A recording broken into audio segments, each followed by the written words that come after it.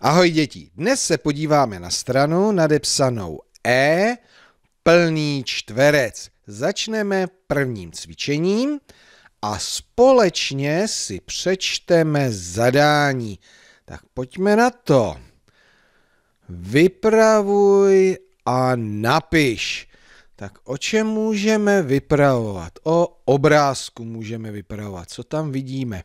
Vidíme tady podzimní sád a jak tam čtyři osoby pracují. No a vidím, že ty osoby jsou také pojmenované. Prosím vás, kdo je tohle? Je to napsáno tady. Aha, děkuji, hezky jste to přečetli. Máma. Kdo je tohle?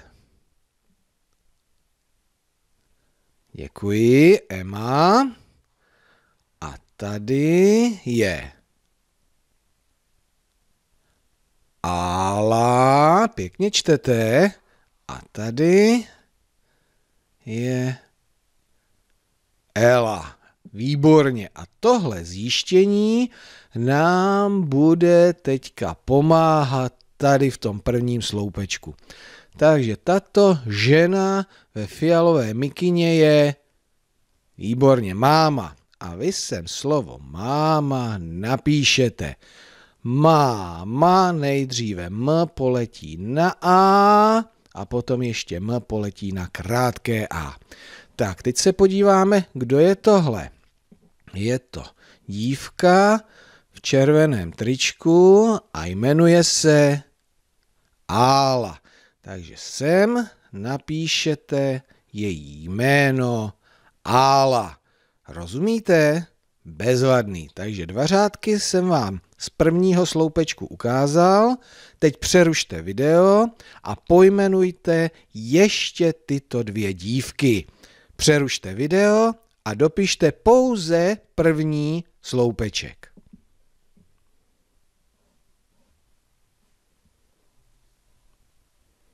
Tak, děkuji. Pro kontrolu. Tak, tady se podíváme, mhm, tyhle ty lasláče, nebo jak se tomu říká, má na sobě Emma a žluté tričko má na sobě Ela.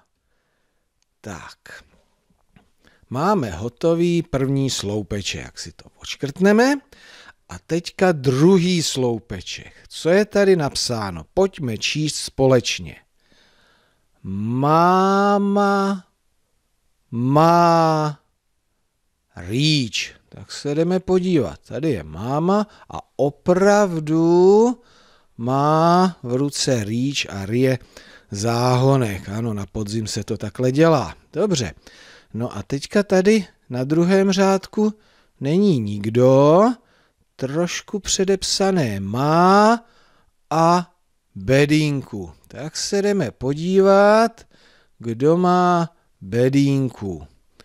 Kdo sbírá jablíčka? Bedínka je tady. A kdo je to sbírá ze země ta jablíčka?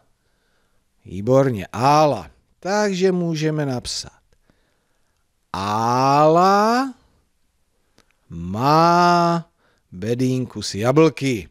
Tak zase tohle byla ukázka dvou řádků a vy se zamyslete, kdo má kolečko, kdo má hrábě a doplňte o tom větu. Takže po druhé přerušte video, vyřešte tyto dva řádky, doplňte celý druhý sloupeček a potom si to opět společně porovnáme, ta naše řešení. Tak se dejte do práce.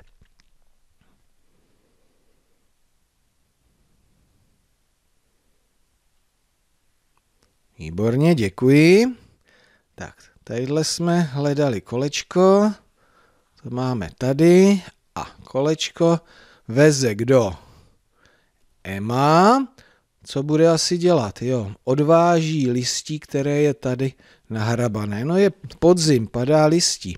Dobře, takže Emma, dodržujeme mezery, má to kolečko. Dobře.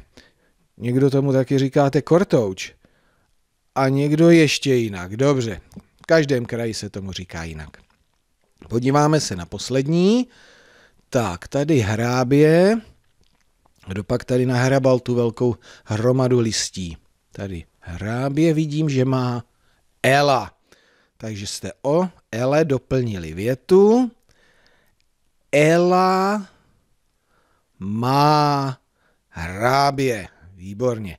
Pro jistotu si ještě pustíme tohleto řešení, takže nejdříve ty osoby. Máma, Ála, Ema, Ela.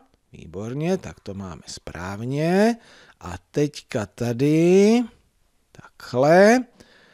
Máma má rýč, to tam bylo. Ála má bedínku z jablky, to tam bylo také. Nebo to už jsme doplnili. Emma má kolečko, máme správně. Ela má hrábě, máme také správně. Výborně! Jak jsme si krásně poradili s prvním cvičením. A teď mě napadá, co kdybyste vy sami nakreslili podobný obrázek, jak lidé pracují na podzim, na zahradě, v sadu, kdekoliv, nebo cokoliv jiného dělají, co mají a o tom byste napsali větu.